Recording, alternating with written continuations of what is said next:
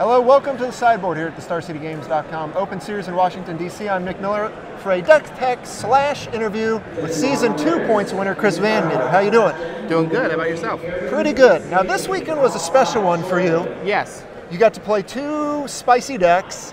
Uh, a s- spicy and a half. I, Right. wouldn't, I wouldn't call the standard deck spicy, but it's outside of my wheelhouse, I would say. Two uh, vari- variety decks for you. Yes. And you played them for a special reason. Talk Mm-hmm. about your Kickstarter, why you're playing these decks, and then we'll touch on the legacy deck that you played today. Yeah, well, uh, I started a Kickstarter about a month ago to produce the Beard Power shirts. Um, I would have worn it, but I wore it yesterday, and I'm not going to wear the same shirt twice. Although some, good mag- some Magic players do, I, I will not. Um, to- I appreciate it. yeah, uh, to produce the shirts. Um, I initially set my goal for like two thousand dollars so that I could, you know, just produce. My my guesstimate was like you know 100, maybe 150 shirts. Um, as far as the feedback that I got on Twitter and Facebook when I put the feelers out there, and it raised over seventy-five hundred dollars, um, which was a lot more than what Quite I a bit more. Uh, partway through the Kickstarter, I decided that I also wanted to do a BBD CVM playmat, Mm-hmm. which was going to be my next project. But because this one was going so well, I figured I would just roll them all into one. Um, so we hit that goal was at five thousand dollars, and then once the the playmat hit, everybody just started pledging so they could get the playmat and the shirts. And the playmat, of course, artwork going to be done by Kristen Plescow. Yes, by Kristen Plescow. Does all the tokens, playmats for the uh, Oh, yeah. the IQs and all that for Star City. Yep. I was just really happy with the, the, the art that she did for myself and BBD's token, Mm-hmm. uh, the elemental and the germ. So I decided that I wanted to, to see if she was willing to, you know, do the art for our playmat, and she agreed, and it's going to be awesome. Any Um, teaser on what that's going to look like? Uh, no. All right. It'll have BBD, myself, and uh, some of the uh, creatures that we are iconically known for. Excellent. Um, so yeah, everything went perfect. One of the on Kickstarter, you set up uh, different levels for pledges to get different rewards. So obviously, I was giving away the shirt and the playmat, uh, some other cool things like some altered tokens that I'm going to do myself and whatnot. But one of the big rewards um, was if anybody that pledged $200 or more, they got to pick my exact 75 for a standard open, legacy open, or a modern premier IQ if they decided they wanted me to play modern and uh, there were three people that pledged to those. So this weekend I decided to play two of the decks, uh, one of which was standard, uh, Naya Hex proof, and in Legacy is a like kind of a BUG Nic Fit uh, Planeswalker Super Friends kind of deck. Right, and that's the deck we're sitting down today. Mhm. You know, we've seen the Nic Fit shell before, something David McDarby likes to play a lot, did exceptionally well at the last Invitational with it. Mhm.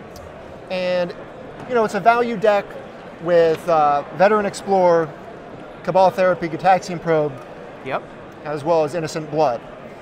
Now, it's, it runs a suite of planeswalkers Jace, Liliana, Karn, but the two spicy ones that are in here today you don't normally see in Legacy Kiora the Crashing Wave, Nissa Worldwaker. Yeah, uh, the person that had me play this deck, uh, his name is Mike uh, Locanti. I think that's how you pronounce his last name. He's actually in the UK.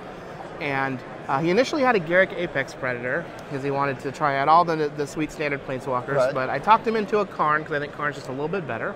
Uh, but Kiora and Nissa were surprisingly good. Um, I, I didn't fare so well in the tournament. Um, I'm already dead. Uh, but no part to the two of those. Every time I cast Nissa, my opponents are always like, "Oh man!" and then I killed him like three turns later Right. because she puts on a very fast clock.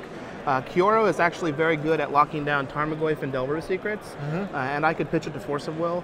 Um, I made an emblem a couple times, uh, getting a concession from one and the other. Uh, I ended up losing actually, is a funny story. I tweeted about it. Yes. Uh, the, the board states I have like four 9-9 Krakens. He has like four little random white creatures. He's on death and taxes, but he has a vial and I'm at one. So I just like have to stay at parity on creatures, otherwise I die. Um, so we're just like back and forth. He draws a creature, you know, every turn for four turns, and then he draws Sword of Fire and Ice and kills me because they are blue Krakens. They are blue Krakens. But yeah, they were, they were both pretty sweet. Uh, I think that uh, Garruk Relentless is better than the two of them, uh, but I know Mike wanted to try out some standard Planeswalkers in Legacy and see how they would fare, and I was pretty happy with Well, it. Well, it's always interesting. Like some people have tried out stuff like Ashiok in Legacy before, and you'd be surprised at how effective some of these planeswalkers are that don't really get played in Legacy. You land them early enough. A lot of these decks don't have the interaction to deal with them. You Yeah. know, I imagine the Nissa interaction where it's just pumping out dudes. Yeah, it's just a 4 4. So Can't it, deal it, with it. it doesn't die to bolt. She goes to 4 loyalty and doesn't die to bolt. Uh, there are some very powerful spells and legacy, so that um, with the dual lands you can untap them as their forests. Right. And there was a couple times where I'd like play Nissa, untap some lands, brainstorm, and then Hymn to Tourach my opponent, Right. which is a pretty sweet turn. Tons of interaction. yeah. Yeah. And this deck, of course, you know, got Hymn to Tourach, Brainstorm, Pernicious Deed, a bunch of stuff to lock down the player, and then killed him with Planeswalkers.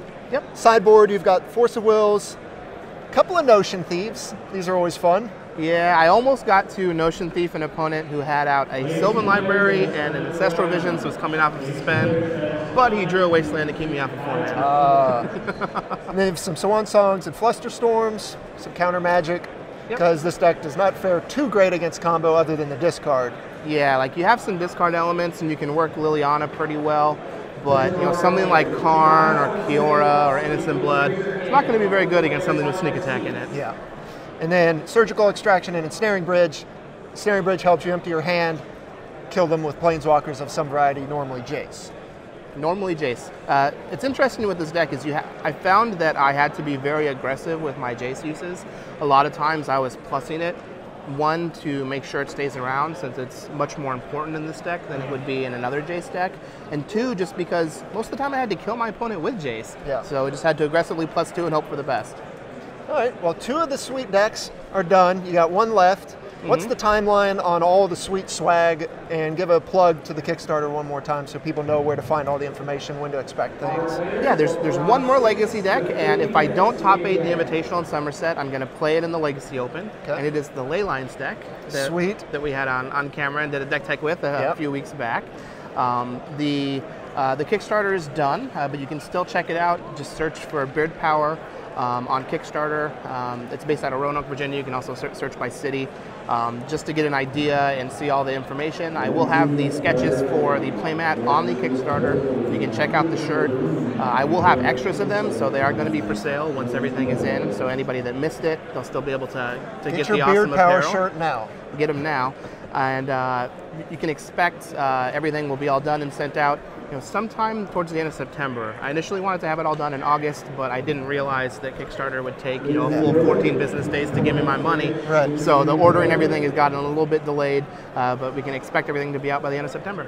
Excellent. Well, I can't wait for it. I can't wait to see people. I'm sure they're very happy for it. Oh yeah, I will see you next week in the Invitational. absolutely. Right. Hopefully playing on Sunday with not a Leyline deck. That would be great to see. Stay tuned all weekend here at StarCityGames.com for all the coverage at the DC Open.